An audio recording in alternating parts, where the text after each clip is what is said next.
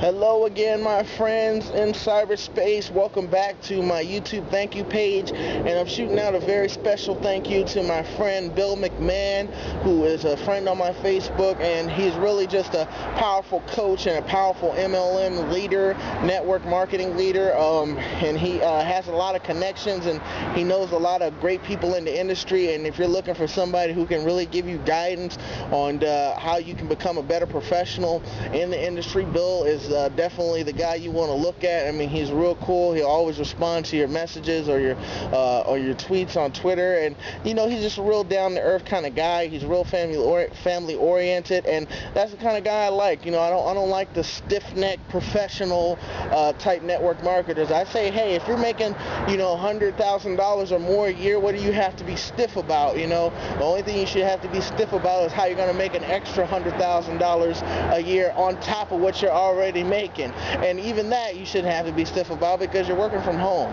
But anyway, I just wanted to come by and I wanted to say, hey, Bill, and uh, definitely uh, shoot me some tweets and definitely uh, comment on my Facebook. This video is just for you. I'll talk to you later.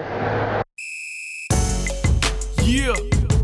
It's the name they say is running the game. Military man. Flip in the building. So go ahead, hand over the torch.